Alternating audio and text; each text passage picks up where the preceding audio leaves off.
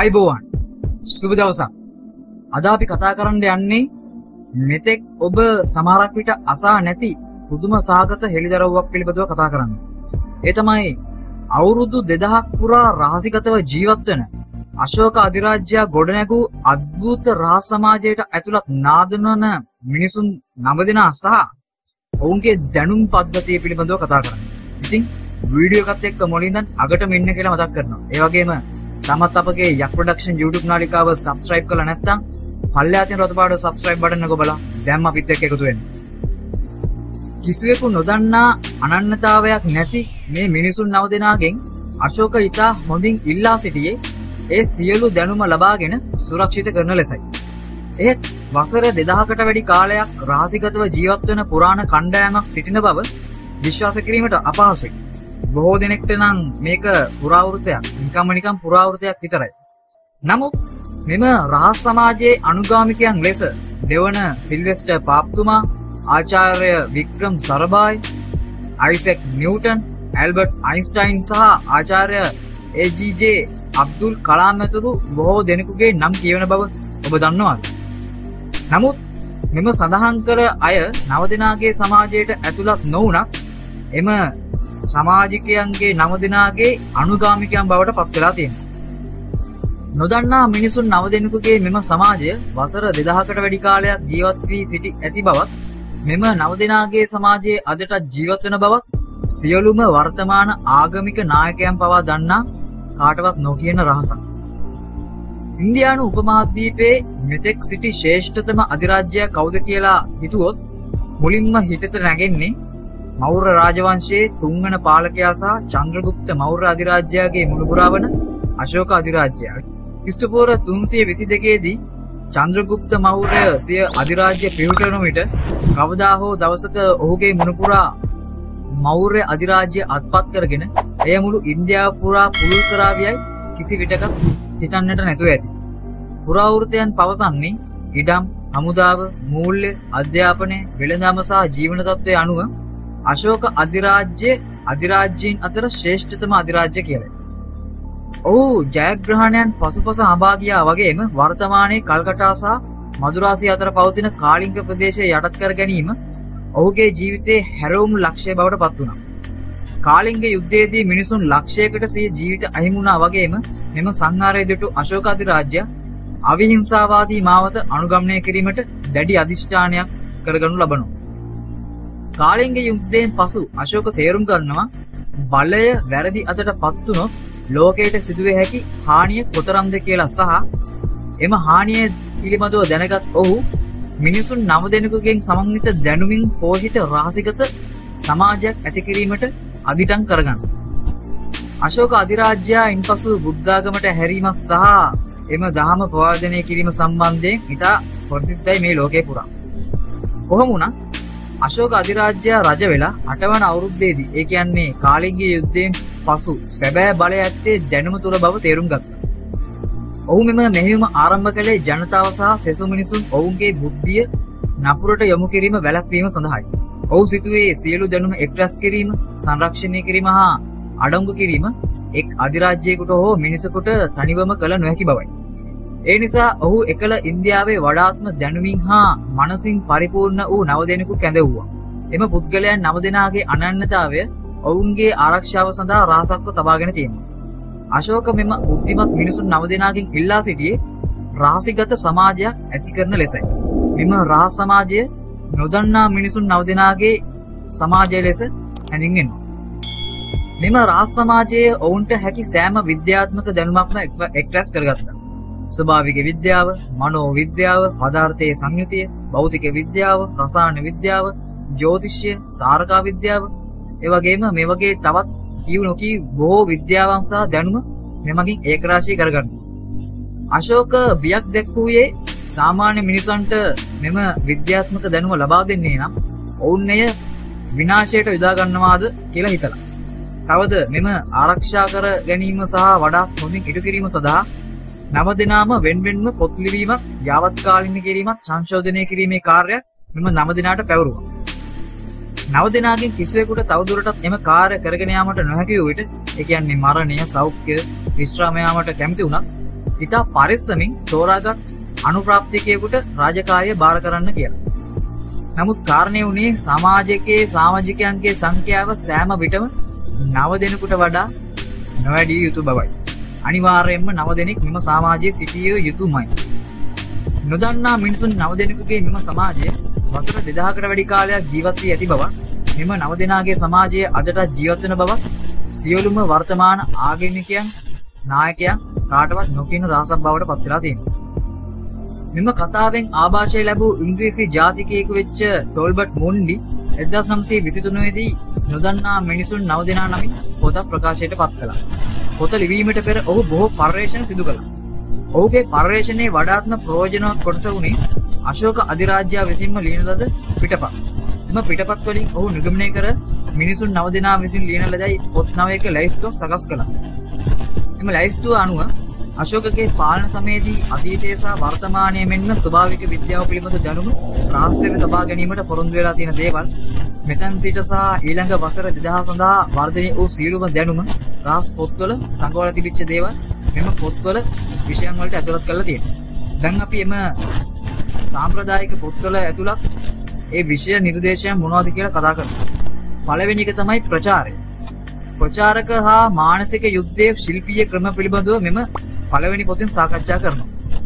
ප්‍රචාරණය සහ මනෝවිද්‍යාත්මක යුද්ධය කියන්නේ විශාල පිරිසකගේ අදහස් හෝ හැසිරීම් වලට බලපෑම් කිරීම අරමුණු කරගත් සංයුක්ත පණවිඩ සමූහයක්. එය සියලු විද්‍යාවන්කින් වඩාත්ම භයානක වෙන්නේ එය මහජන මතය හඩගැස්වීමේ හැකියාව ඇති නිසා. එමකින් ඕනෑම කෙනෙකුට මුළු ලෝකයම පාලනය කිරීමට හැකි වෙනවා. උදාහරණයක් වශයෙන් හිට්ලර්ද මෙම ග්‍රන්ථ පරිශනය කිරීමෙන් අනතුරුව තමා ඔවුන්ගේ අධිරාජ්‍යවාදී ව්‍යාපෘතිය දියත් කරනු ලැබුවයි කියන කතාව ලෝක ප්‍රසිද්ධ කතාවක්. දෙවැනි පොත තමයි කායික විද්‍යාව. මෙම ග්‍රන්ථය කායික විද්‍යාව පිළිබඳව සාකච්ඡා කරනවා. මරණය ස්පර්ශය ලෙස හැඳින්වෙන පුද්ගලයෙකුව ස්පර්ශ කිරීමෙන් සරලව ස්නායු ආවේගයක් ආපසු හැරවීමෙන් ඝාතනය කරන්නේ කොහොමද කියන්න මේකෙන් පැහැදිලි කරනවා. ඒ වගේම එමගින් ජීවීන්ගේ යාන්ත්‍රික භෞතික හා ජෛව රසායනික ක්‍රියාකාරකම් අධ්‍යයනය කරනවා. ජූඩෝ සටන් කලාවත් මෙම පොතෙන් කාන්දු වෙච්ච දැනුමක් කියලා හැඳින්වෙනවා. තුන්වෙනි කොටස තමයි ශුද්‍රජීවී විද්‍යාව. ඒ වගේම වඩාත් මෑත සම්මේක්ෂණයට අනුව ජෛව තාක්ෂණය. මේ සමහර අනුවාදවල ගංගා ජලයට නව දෙනාගෙන් එක් අයෙකු විසින් නිර්මාණය කරන ලද විශේෂ ශුද්‍රජීවීන්ගෙන් පිරිසිදු කරලා හිමාලයේ කඳුකරේ රාසිගත කඳවුරක ගඟකට මුදාහරිනු ලැබූ බව කියවෙනවා. පූජනීය ජලය මගින් සියල්ල පිරිසිදු කරන බවත් ඒවායේ අමුතු ගුණාංගවලට හේතුව බැක්ටීරියා භක්ෂක අඩංගු වීම බවත් කියවෙනවා. හතරවෙනි එක තමයි ලෝහ සම්ප්‍රේෂණය ඇතුළු ඇල්කැමි. මෙම පොත ඇල්කමිය සමග කටයුතු කිරීම සහ ලෝහ සම්ප්‍රේෂණය කිරීම කෙරෙහි අවධානය යොමු කරලා තියෙනවා. ඉන්දියාවේ නියගයක් හෝ වෙනත් ස්වභාවික විපත් කාලවලදී පන්සල් සහ ආගමික සංවිධාන නොදන්නා ප්‍රභවයකින් විශාල රත්තරන් ප්‍රමාණයක් ලබා ගන්නා බව දිගින් දිගටම කටකතාවක් පැවතිලා තියෙනවා. ඉන්දියාවේ රන්නාකර කීපයක් ඇති බැවින් රට පුරා විහාරස්ථානවල සහ රජවරුන් සමග ඇති රත්රන් ප්‍රමාණය නිසිලස ගණන්ගත නොහැකි වීම නිසා මෙම අභිරහස තවදුරටත් ගැඹුරට යනවා. පස්වෙනි එක තමයි පිටසක්වල ජීවීන් සමග සංවේදනය සහ සංවේදනය. නොදන්නා නව දෙනා පිටසක්වල ජීවීන් සිටින බව සහ බාහිර ලෝකයේ දැන සිටි බවට මෙයින් චෝදනා කරනවා. හයවෙනි පොත තමයි වෛමානික ශාස්ත්‍රයේ ගුරුත්වාකර්ෂණ රහස සහ විමාන ගොඩනැගීමට අවශ්‍ය උපදෙස් අඩංගු වෙනවා වගේම මෙම පොත මගින් ඉන්දියාවේ පුරාණ UFO ලෙස හඳුන්වන තාක්ෂණයක් ගැන සඳහන් වෙනවා. ඒ වගේම මේ පොතේ ගුරුත්වාකර්ෂණ රහස සහ වෛදික විමාන හෝ ගුවන් යානයක් සාදා ගන්නා ආකාරය පිළිබඳ සත්‍ය උපදෙස් අඩංගු වෙලා තියෙනවා. හත්වෙනි පොතෙන් කියන්නේ විශ්වවිද්‍යාව. අභ්‍යවකාශ කාල රෙදිපිරි හරහා ඇති විශාල වේගයකින් ගමන් කිරීමේ හැකියාව සහ කාල ගමන්. අභ්‍යන්තර හා අන්තර් විශ්වචාරිකය ඇතුළුව එහි දැනුම මෙම පොතෙන් විග්‍රහ කරනවා.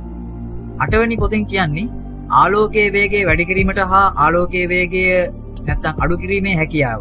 එය යම් දිශාවකට සංක්‍රේදනය කිරීමෙන් ආයුධයක් ලෙස භාවිතා කිරීමේ හැකියාව ආදී විශාල දැනුම් සම්භාරයක් මේ අටවෙනි එකකින් අටවෙනි පොතෙන් කියවෙනවා. නවවෙනි එක සමාජ විද්‍යාව. සමාජවල පරිණාමය හා ඒවායේ පරිහානිය පුරෝගතනය කරන්නේ කොහොමද කියන එක පිළිබඳව සහ එහි පිළිබඳව ඇති නීති පිළිබඳව මෙම නවවෙනි එකකින් කියවෙනවා. ඉතින් මේ පුරාවෘත්තයේ තවත් වෙනස් සංස්කරණ තියෙනවා. උදාහරණයක් වශයෙන් අශෝක අධිරාජ්‍යයා උසස් විද්‍යාත්මක දැනුම ආරක්ෂා කිරීම සඳහා රාජ සමාජයේ පිහිටුවීමට හේතුව රාම අධිරාජ්‍ය ආරක්ෂා කිරීම බවට කියනවා. හින්දු ලිපිලි වලට අනුව රාම අධිරාජ්‍යය තිබිලා තියෙන්නේ මීට වසර 15000කට පෙර. එය ඉතා දියුණු ආයුධ හා දියුණු තාක්ෂණික දේවල් වලින් විනාශ වෙලා ගිහිල්ලා තියෙනවා. මෙම ග්‍රන්ථ පිළිබඳ දැනුම මනුෂ්‍ය වර්ගයාගේ මුළුමනින්ම රාසිගතව තබා ඇති බවක් පෙනෙන්නට තිබුණා. සියවස් ගණනාවක් පුරා මෙම ග්‍රන්ථවලින් කාන්දුවීම් සිදු වී ඇති බව කියවෙනවා. ඒ අතර ඒවා ඉතිහාසයේ පුරා නවෝත්පාදන ගණනාවක් සඳහාද හේතු වෙලා තියෙනවා. ඒ කියන්නේ නව්‍යකරණයේ දේවල් නිපදවීම සඳහා මෙම දැනුම උපයෝගී කරගෙන තිබෙනවා. කෙසේ වෙතත් බටහිර ඉතිහාසයේ වඩාත්ම අద్භූත චරිතයක් වෙච්ච සහ අසාමාන්‍ය සිද්ධියක් තියෙනවා. ඒ දෙවන සිල්වෙස්ටර් පාප්තුමා හා ගර්බට් කියන භික්ෂුව. 1920 දී අව්වර්ඩ්හි උපත ලැබූ ගර්බට් බෙනඩික්ටයින් භික්ෂුවක්. රයිම්ස් විශ්වවිද්‍යාලයේ මහාචාර්යවරයෙක් වෙනවා. ඔහු ඉස්පාඤ්ඤයේ යම් කාලයක් ගත කරලා ඇති අතර ඉන් පසුව අద్භූත මුහුදු ගමනකින් ඔහු ඉන්දියාවට ඇවිල්ලා තියෙනවා. එහි එන අතරදී ඔහු විවිධාකාර කුසලතා අත්කරගෙන ඇති බවට පිළිගැනේ. උදාහරණයක් වශයෙන් ඔහු තම මාලිගාවේ ලෝකඩ හිසත් තබාලා තියෙනවා. එය දේශපාලනය හෝ ක්‍රිස්තියානි ධර්මයේ පොදු ස්ථාවරය පිළිබඳ ප්‍රශ්නවලට ඔහු හෝ නැත යන පිළිතුරු ජනනය කිරීමට යොදාගත් බව කියවෙනවා. සිල්වෙස්ටර්ට අනුව මෙය සංඛ්‍යා දෙකක ගණනය කිරීමකට අනුරූපව ඉතා සරල මෙහෙයුමක් වෙනවා වගේම එය අපගේ නවීන ද්විමීය යන්ත්‍රවලට සමාන සංක්‍රීය යන්ත්‍රයක් මගින් සිදු කරලා තියෙනවා. සිල්වෙස්ටර් මියන විට මෙම මැජික් හිස විනාශ වූ අතර එය ලබා දුන් තොරතුරු ප්‍රවේශමෙන් සංගවා ඇති බව කියනවා. බොහෝ අවස්ථාවන් වලදී මිනිස් සංගතයට උපකාර කිරීම සඳහා නාදුනන මිනිසුන් නව දෙනා හිතාමතාම සිදුවීම් පිළිබඳ ඔවුන්ගේ පොත්පත් වලින් තොරතුරු නිකුත් කරන බව බොහෝ කලක පෙර විශ්වාස කරනවා. කොරලාව සහ වසංගත සඳහා එන්නත් ලෙස එළියට ආව කියලා කියනවා. ඒ කියන්නේ මේ නව දෙනාගේ තොරතුරු සමහරක් වසංගතවල තිබෙන රෝගවලට එන්නත් වශයෙන් එළියට ආව කියලා කියනවා. ඉන්දියානු විද්‍යාඥයන් විටින් විට නාදුනන මිනිසුන් නව දෙනෙකුගේ සමාජිකයන් බවට කටකතා පැතිර යන බව වරින් වර බටහිර ජාතිකයක් ඉන්දියාවට ගොස් පුදුම සාගත දෙයක් කළ යුතු නම් ඔහුට ඔවුන්ගෙන් උදව් ලැබෙන බවත් සැලකෙනවා. දෙවන සිල්වෙස්ටර් පාප්තුමා වගේම ලුයි පාස්ටර්, පියරේ පොල් එම්ලි රූකස්, ඇලෙක්සැන්ඩ්‍රි එම්ලි ජෝන් යර්සින් යන අය පිළිවෙලින් රබීස් සහ ඩිප්තේරියා සඳහා එන්නත් නිර්මාණය කරලා තියෙනවා මේ දැනුම හරහා. කිසිවෙකුත් නොදන්නා අනන්‍යතාවයක් නැති මේ මිනිසුන් නවදෙනාගෙන් අශෝක ඉතා මුලින්ම හොඳින් ඉල්ලා හිටියේ මේ සියලු දැනුම ලබාගෙන සුරක්ෂිත කරන ලෙසයි. ඉතින් මේ නොදන්නා මිනිසුන් නවදෙනෙකුගේ මෙම සමාජය වසර 2000කට වැඩි කාලයක් ජීවත් වී ඇති බවක් මෙම නවදෙනාගේ සමාජයේ අදටත් ජීවත් වෙන බවක් සියලුම වර්තමාන ආගමික නායකයන් පවා දන්නා නොකියන කාටවත් නොකියන අඟවන රහසක්. මෙම රහස ගැන ඕගොල්ලෝ මොකද හිතන්නේ? මේ ඕගලන්ට තවදුරටත් මේ පිළිබඳව දැනගන්න ඕන නම් පහලින් අපි ඩිස්ක්‍රිප්ෂන් එකේ මේ සඳහා අවශ්‍ය මූලාශ්‍ර ඕගලන්ට ටැග් කරලා තියෙනවා. ඉතින් ඕගලන්ට ගිහිල්ලා ඒ පිළිබඳව තවත් වැඩිපුර තොරතුරු දැනගන්නට පුළුවන්. එහෙනම් අදට සමුගන්නම් තවත් අලුත් තොරතුරකින් හෙට දවසේදී හමු වෙමු. ඔබට සුබ දවසක්.